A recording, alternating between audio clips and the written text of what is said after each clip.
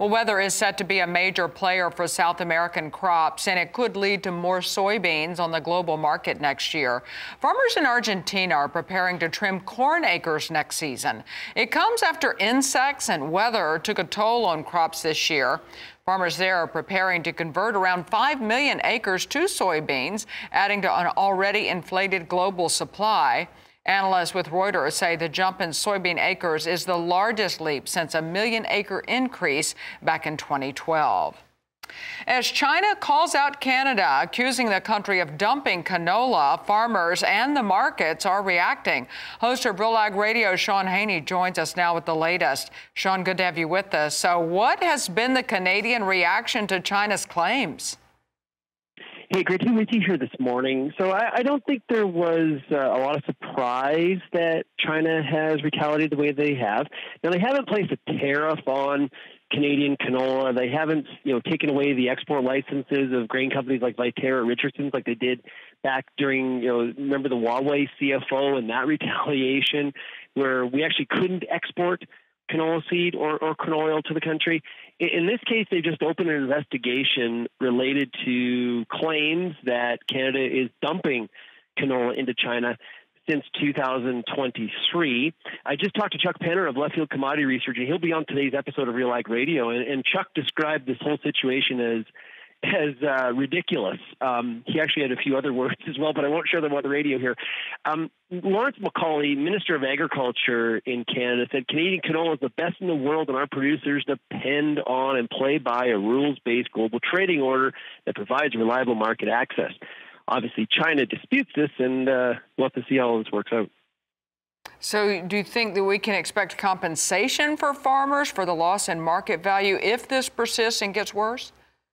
I think it's a really good good question. We, saw the canola market yesterday limit down forty five dollars a ton. Today it's opened, you know, down ten fifteen. It's it's off the lows of of the day. We'll have to see where we close. There's lots of trading day left here. But if you apply this to some of our experiences in the U.S., remember when during the Trump administration, and there was uh, a real pushback against China trade policies there was concerns about you know soybean exports to China, and so farmers through the MFP program, there's a couple versions of it. Farmers were compensated for you know being good patriots for you know supporting the, the, the broader picture. Will that happen in Canada if this continues for a period of time? I think it's still too early to tell. Um, there is going to be, I think, the longer this goes on the further the market, if the market continues to slide lower, maybe sub five, those voices are going to get are, are going to get a, a, a much more loud. You know, the, in in the case of Australian barley, it took three years to get that that whole thing sorted, which was very similar to this this claim. So uh, you know, I, I think uh, we'll have to see how much canola actually does get to China from Canada, and if those trade flows actually stop. Before I let you go, what are next steps for Canada to take a response? Uh, well, I think at this point, Canada is just talking about you know rules-based trade and uh, following the situation closely. I, I don't expect Canada to back off of those tariffs on EVs out of China or steel and aluminum. We've got both the governing party, the Liberals, and the opposition party, the Conservatives, both in support of these tariffs at this time as they both try to really attract some of that union vote in the auto sector and the steel sector. So I don't see Canada backing down here, and we'll have to see if China gets a little bit more aggressive in the short term if Canada doesn't.